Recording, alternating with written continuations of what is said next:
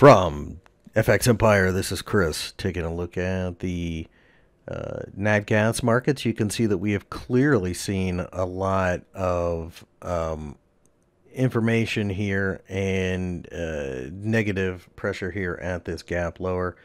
At this point, I suspect that we are going to continue to see a lot of um, choppiness, but the 200 day EMA is going to come into play. You know, when you look at this, we are making higher highs. It's just noisy. There's a lot of supply out there. So I'm waiting for a supportive candle closer to the 200 day, uh, or perhaps slicing through this gap to go higher towards three and beyond.